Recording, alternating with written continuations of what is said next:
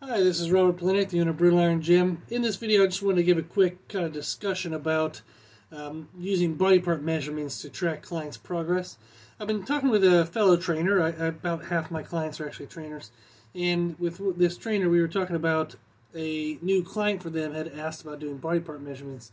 They asked what my opinion was, and I thought I'd share it in this video. I'm not a big fan of body part measurements as a way to track progress there's a lot of uh, cons that don't counter as much as the pros, and there's better options in my opinion. But in general, what people want body part measurements for is they want some concrete, uh, real, tangible thing that they can see progress in. The downside is is that often what we're trying to do with most people is if they're trying to lose fat and build muscle, most people just want to look better, so they want better aesthetics. If they're trying to lose fat and build muscle, that will kind of counter each other in the sense of, of how their body parts will change in circumference. Meaning that if I lose a half inch of fat, but I put on a quarter inch of muscle, the only change we can see is that quarter inch. Meaning they won't see, they won't know that there was actually a half inch of fat loss. They only see a quarter inch of change, and they relate that to being only a quarter inch of fat loss that's going to be a big issue because that's going to be demotivating and it doesn't show the true picture. There's a lot more details, and there's actually a, a podcast that I'd encourage you to listen to. Uh, uh, Brutal Iron Gym has a daily podcast. We have over a thousand episodes, over 150,000 downloads. And actually, just recently in 2021, we were able to reach all 50 states in the United States and over 100 countries, which is pretty badass. So what I'd encourage you to do is if you want to learn more about body part measurements, the pros and cons, is to listen to podcast number 389. You can go to any podcast platform you want, search Brutal Iron Gym Podcast. You can also just do a Google search, Brutal Iron Gym Podcast 389. And that's one of our trainer education podcasts. And it's titled Tracking Client Progress. We talk about a bunch of different methods, but I would discourage uh, most clients and most trainers to use uh, body part measurements Instead, what we typically do with somebody, especially if they're trying to lose weight, they're not at a weight that they want to be, even if they were to change over to, you know, all muscle and no fat, they wouldn't want to weigh as much as they weigh. So say somebody weighs 170, 180 pounds, and they would like to weigh 130 or 140. We know that weight loss is going to be part of that. Now, if I step on a scale, there's there's some give and take of the results, just like there are for measurements. You know, I might lose 10 pounds of fat, gain 2 pounds of muscle, and I only see an, a net of 8 pounds of change.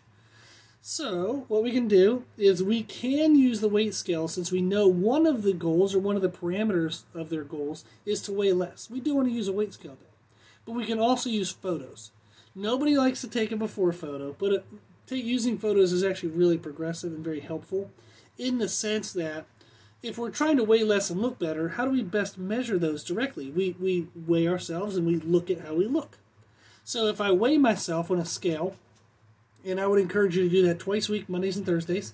The idea is that if you do it every single week on the same days, you have more consistency. So do it in the morning, uh, go to the bathroom, but before you eat or drink anything, weigh yourself on Mondays and Thursdays mornings. Um, well, I would look at Mondays compared to past Mondays and Thursdays compared to past Thursdays. But why do we do that? Typically, Thursday is a, a good day that kind of represents after your best days of habits. Usually, we do our best habits Monday, Tuesday, Wednesday, and then we can weigh ourselves Thursday. Why not Friday? Well, a lot of times people go on vacation on Friday or they take Friday off. It's a little more inconsistent of a day. So Thursdays they're going to be able to weigh themselves pretty consistently, and it represents what we do after a couple days of our best habits. Monday represents what we do after a couple days of probably not our best habits over the weekends. So if we have a big difference in weight from Mondays and Thursdays, Mondays and Thursdays, week to week to week, we know that the weekends were probably being like less consistent, and we need to uh, give attention to that. So if we're going to use body weight, we want to weigh ourselves Mondays and Thursdays, and you look at the the tr- the trend over four weeks. I'm not going to worry about, you know, from last week to this week if I'm only down one pound or I'm up half a pound.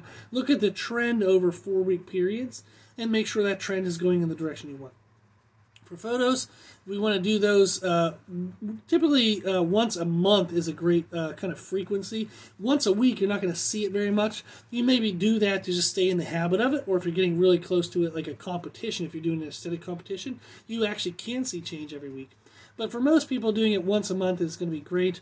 And you typically want to do it on kind of like the first Monday of every month, something that's relatively consistent and typically earlier in the day because you have um, kind of more dehydrated from sleeping. You'll look a little leaner. You can see more details rather than at the end of the day. So that's going to be what I would recommend if somebody wants to use body part measurements to track progress. I would stay away from that. Uh, I would instead get my concrete, tangible results by using the body weight uh, on a body weight scale and using photos.